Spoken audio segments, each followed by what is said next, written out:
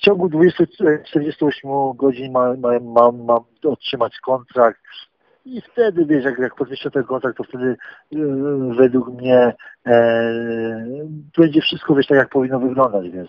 Mhm. Wiesz, możemy, możemy, można o tym rozmawiać.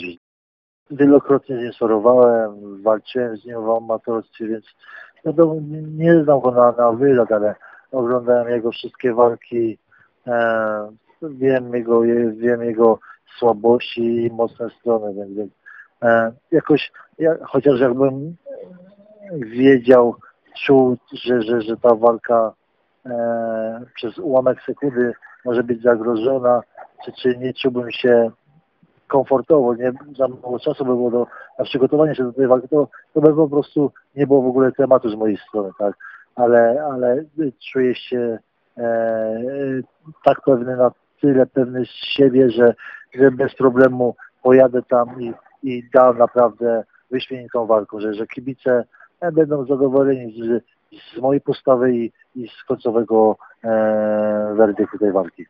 Na pewno zrobił postęp od walki z, z Wawrzykiem do tej ostatniej walki. To jest, e, to jest pomiędzy tymi dwoma zawodnikami to jest przepaść, tak? E, pamiętam go, akurat oglądałem jego te ostatnie walki, siedziałem przed, przed komputerem do, do, do, do, do trzeciej w nocy i wiesz, i oglądałem te jego walki, wiesz, naprawdę w tej ostatniej walce zrobił na mnie ogromne wrażenie, nie? Zrobił się taki e, facet, wiesz, który, który potrafi przyjąć i potrafi również przypierdolić. Zobaczymy, co w tym kontrakcie będzie. Wiesz, bym chciał i być i zaboksować na Polsacie.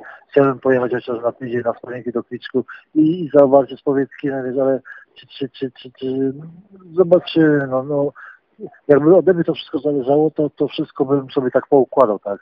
Za przyszłym tygodniem przylatuje mój trener, e, będę rozmawiał jeszcze z, z dzisiaj albo jutro z Mariuszem Kołodziejem i gdzieś tam, wiesz, każdego posłucham, ale na pewno ostatnia, ostatnia decyzja, ostatnie słowo będzie należało tylko i wyłącznie do mnie, tak. Każdy sobie, każdy powie to, co ma do powiedzenia, jak on by to widział, ja wysłucham, prześpię się z tym, Eee, i, i podejmę decyzję, tak. Mam, mam jeszcze z, na pewno z dwa dni, żeby, żeby wszystko sobie tak poukładać, pomyśleć nad tym wszystkim. Z- wybiorę to, co, co będę uważał, że, że dla mnie jest na, najlepsze.